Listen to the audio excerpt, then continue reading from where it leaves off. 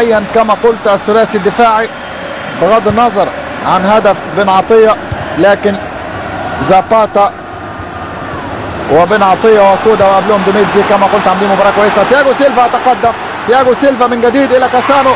كاسانو وكرة باتو! التعادل! التعادل! باتو يشعل السان سيرو.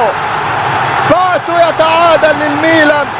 في قمة الإثارة في قمة الدراما. وبعد 3-1 وبعد أن كان الأوديني. قريب جدا من الفوز لكن يأتي هذا الرجل يأتي هذا الولد. أنطونيو كاسانو التالنتينو يصنع هدف التعادل لباتو. والنتيجة 3-3 عادت المباراة عادت المباراة. لنقطة البداية قبل ثماني دقائق فقط من النهاية. ثمان دقائق تتبقى على نهاية المباراة. يعود التعادل. زي ما قلت لكم كانت 3 2 ممكن جدا تبقى 3 3 الآن ممكن جدا جدا تبقى 4 3 عادي جدا.